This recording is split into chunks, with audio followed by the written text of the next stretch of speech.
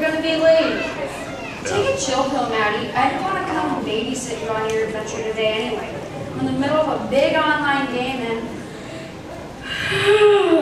on the verge of conquering the world. I can't believe I have to spend all day chasing you around this island. If you take one day to pull your head out of the screen and look at all the things around you, you may just discover what an amazing place Promise Island actually is. Not, the online world is about as amazing as it gets. Maddie. I'm way too tired to hear your gibberish today.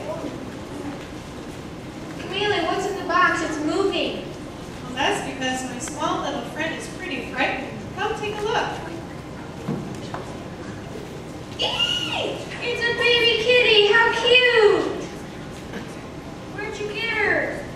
Well, unfortunately, this small little thing was really frightened. Her mom was hit by a car, so I brought her home with me. I called a friend, and he's going to pick her up later and take her to his farm. He'll provide a good home. Hi, Hunter. How are you today? You have no idea. Finally, someone who seems to actually care about my conquering the world. I skipped breakfast today. Had to turn up the volume on my game and drown out the sound of my growling stomach. Oh. It's important to eat right. That should do the trick great. Where's Maddie? My parents will ground me for eternity if I lose her. Maddie! Maddie, where are you? Hunter, you have to come look at this.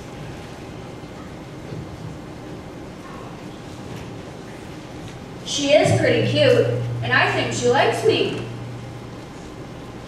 Well, Hunter, now that you have your energy back, why don't you grab that kennel for me, please?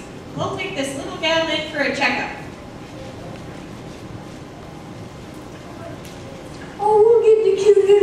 entidade.